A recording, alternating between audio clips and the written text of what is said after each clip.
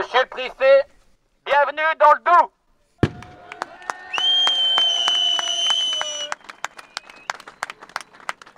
N'allez pas croire qu'on a organisé une petite fête entre amis ou entre agriculteurs pour votre arrivée. Ici, c'est la colère qui vient s'exprimer et le désarroi. Le lieu n'est pas choisi au hasard. Ce rond-point, c'est le rond-point de l'Alliance. L'Alliance, un pacte fort, un pacte de confiance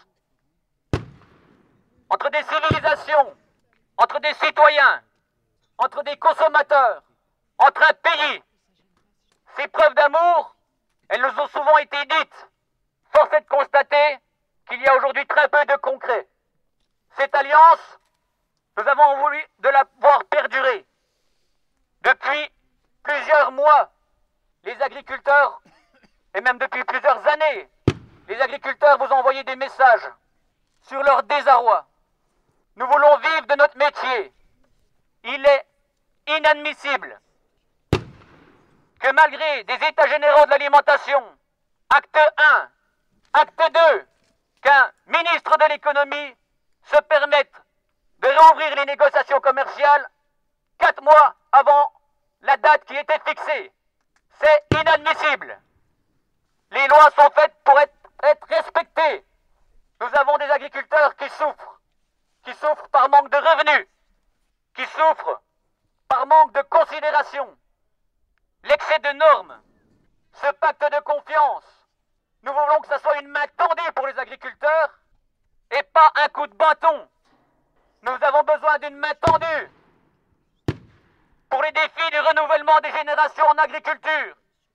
Nous avons besoin d'une main tendue pour faire face au dérèglement climatique et pas d'une police de l'environnement vienne armée pour nous dire comment il faut entretenir une haie.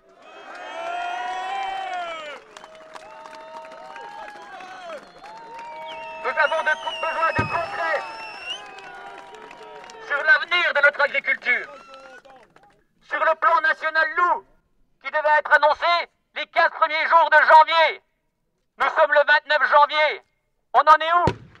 Va-t-on encore laisser des agriculteurs, des familles entières dans le désarroi et dans la souffrance La France doit prendre ses responsabilités.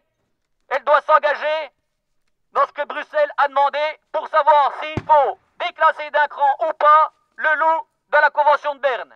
Nous attendons aussi sur ce plan loup un véritable soutien pour les agriculteurs sur l'enlèvement des carcasses, mais la liste est longue. La liste est longue, monsieur le préfet, et on sait qu'il n'y aura pas, à l'issue de cette mobilisation, des réponses à toutes nos revendications. Au-delà de ça, derrière cette alliance, nous avons besoin aujourd'hui que les agriculteurs retrouve l'envie. L'envie d'avoir envie. Comme disait un autre icône, nous avons besoin de clairvoyance. Nous avons eu une politique agricole commune. On nous a dit qu'il va falloir faire du Green Deal, une politique plus verte. Certains pouvaient être réticents, mais les agriculteurs ont dit OK, on y va. Force est de constater aujourd'hui que les aides qui nous étaient promises ne sont pas au rendez-vous. Force est de constater que l'administration à chaque politique agricole dépourvue est dépourvue pour débloquer des dizaines et des dizaines de dossiers dus à des changements d'associés qui ont été faits des fois 8-9 mois avant. C'est inadmissible. Cet aspect normatif, monsieur le préfet, cet excès de normes, ce manque de visibilité, c'est ce qu'on est venu aujourd'hui vous exprimer à ce rond-point de l'Alliance. Monsieur le préfet, deux mots d'ordre ont été donnés aujourd'hui. Sécurité exemplarité. Nous ne sommes pas des casseurs, nous sommes des gens, des entrepreneurs du vivant, qui n'ont qu'une envie, malgré ce soleil, c'est d'être dans leur champ, pour entretenir les paysages.